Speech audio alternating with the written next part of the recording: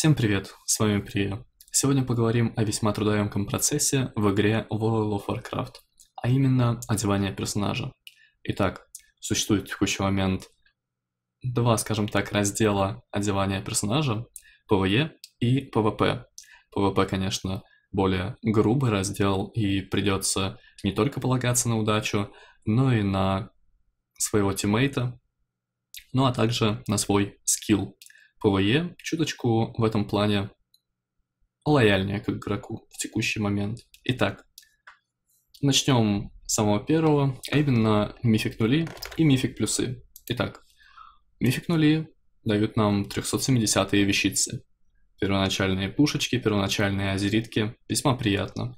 Ну а также маунты с вольной гавани, с гробницы королей, ну и с подгнилья три маунта с весьма редким дропом. Быть может, если вы придете только впервые в эти подземелья, вам улыбнется удача, и вы получите эти предметы.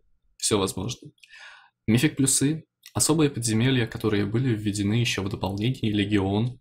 Входя в обычные эпохальные подземелья, убивая самого последнего босса, вы получаете свой первый эпохальный ключ. Вставляя его в дальнейшем, при входе в какое-либо эпохальное подземелье, вы запускаете подземелье в таймер. Чем выше ключ, тем сложнее мобы в плане своего здоровья и своей атаки. Ну и, конечно же, лут вкуснее с каждым новым ключиком и с каждой новой сложностью.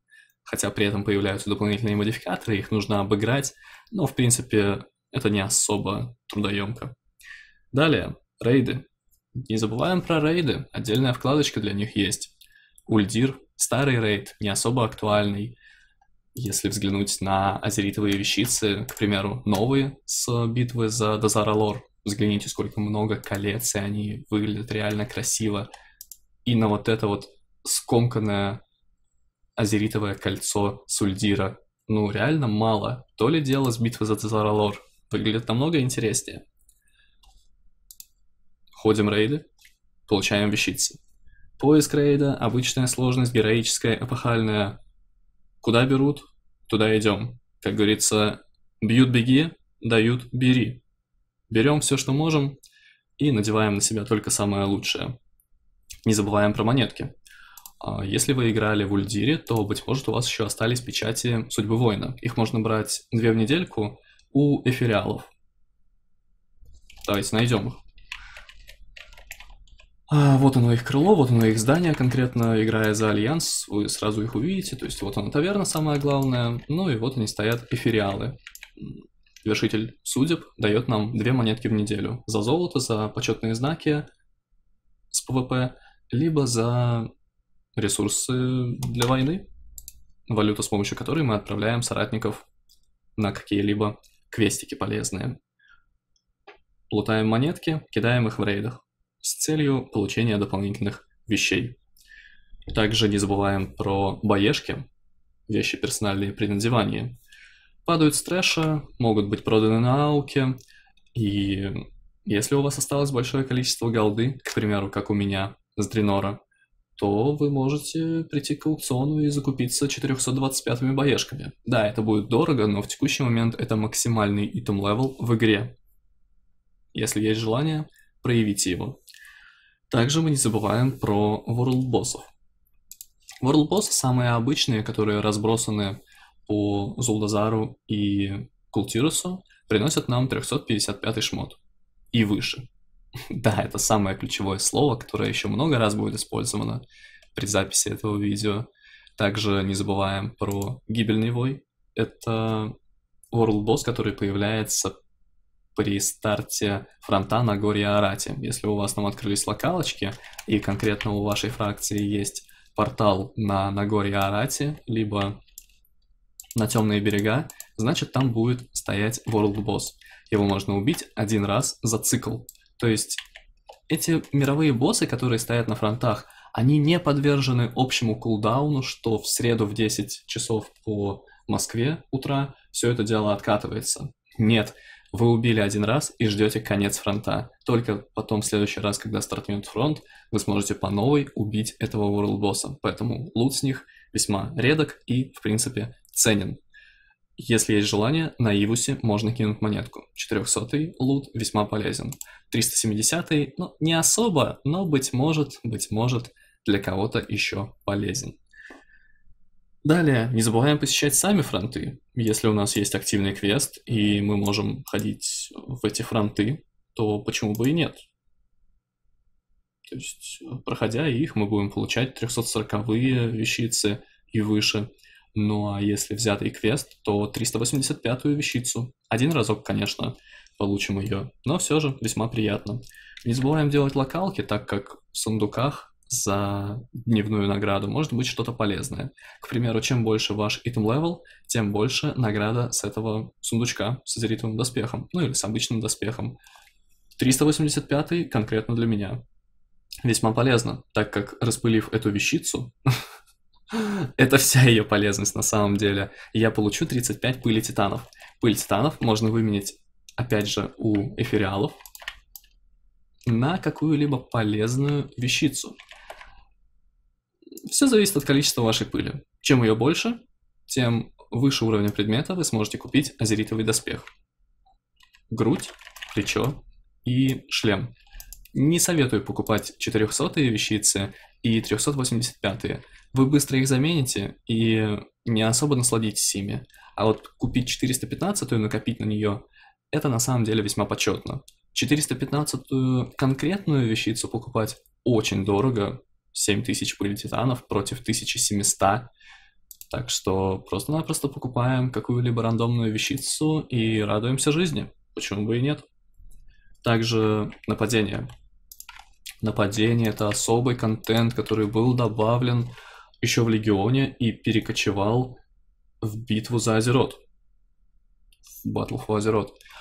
А, в какую-либо локацию, неважно, Орды, Альянса, оно стартует, длится 7 часов, кулдаун у нее примерно часов где-то 17-18, и выполняя эти локалочки, связанные с нападением, мы получаем увеличенные награды, плюс выполняя в режиме войны эти локалки, мы получаем очки завоеваний, о них чуть позже, это весьма полезно, в принципе, получить даже немножко очков завоеваний с этих локалок, ну а по завершению квеста, который связан с этими локалочками, с этой локацией, мы получаем 370-ю вещицу. Также крафты.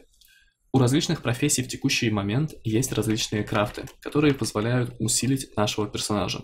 К примеру, алхимия имеет в своем репертуаре, в своем списке крафтов алхимический камень. Изначально он 385 и крафтится из 15 нового реагента, добываемого с инстов. Потом он становится 400, если мы добавляем 20 дыханий в Вансамди, это новый реагент, падающий с нового рейда. Ну а если к этому камушку мы добавим 200 дыханий в Вансамди, то получим 415 алхимический камень. Да, процесс весьма долг, но в принципе он весьма полезен, так как получить какой-либо тринкет высокого итем левела весьма приятно на самом деле.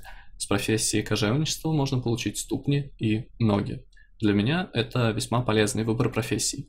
Также с инженерного дела можно скрафтить шапочку, с кузнечного, по-моему, ноги и поясок. С партняжного дела можно точно что-то скрафтить. С ювелирного колечко с сокетом крафтится. То есть весьма обширное количество крафтов в текущий момент в различных профессиях добавлено. Актуальность профессий поднимается, и это радует. Крафты персональные, поэтому продать на аукционе их нельзя. Ну и самый начальный способ, вместе, конечно, с мифик нулями, но он весьма редкий, поэтому я и говорю о нем в самом конце. Это подземелье в виде путешествий во времени. Недавно были Пандаренские путешествия во времени, и, к примеру, кликнув по Дворцу Магушан, путешествие во времени, мы можем увидеть, что там падал 365 лут. Получать, конечно, ожерелье грустно весьма с этих подземелий, а вот получить какую-либо одноручную дробяшку, одноручное кистевое, пушечку, а, тринкет, колечки, другие вещицы весьма приятно, и пройдя 5 подземелий путешествия во времени при взятом квесте, мы получаем 385-ю вещицу с рейда Дазар Алор. Быть может это азеритка, быть может это тринкет, быть может это оружие. Ну а теперь погружаемся в суровый раздел одевания, а именно PvP. О, это на самом деле сложно, очень. PvP cap завоевания. Отбиваем 500 единиц. Вот, кстати, выполняя локалочки с включенным War Mode ом, режимом войны, мы получаем некоторое количество очков завоевания, начальное, скажем так, для накопления всей этой полосы очков завоевания. Ну и из 500 очков завоевания мы получаем различные вещицы 385 уровня предмета. Самый первый, конечно, кап ваших очков завоевания будет давать вам пушку 375, но не отчаивайтесь. И поверьте мне на слово, потом будут 385 награды. Ладно, хорошо. Не верите на слово, будет ссылочка в описании, где конкретно по всем неделям расписаны абсолютно все награды. Также недельный квест на убийство 25 ордынцев, доступный Альянсу. Не знаю насчет Орды на самом деле, там очень много изменений было касательно режима войны, быть может и у Орды теперь такой квест появился. Ну или скоро появится. Все-таки каждый человек по-разному будет просматривать это видео. Подходим к Матиасу, берем у него квест на убийство 25 ордынцев, получаем 385-ю вещицу. Ранее давали 400-ю.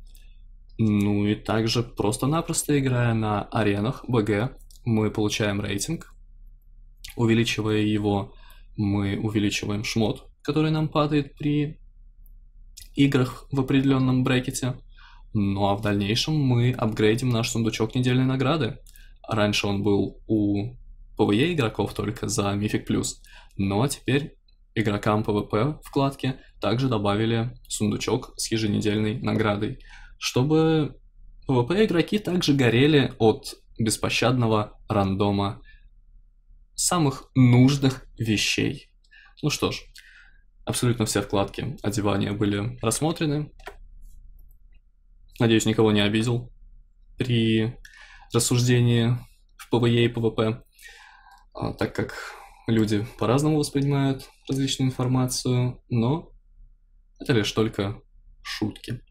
Всех вам благ, счастья, здоровья. Думаю, вы припасли достаточно удачи с целью того, чтобы задропать себе что-то качественное в этой игре.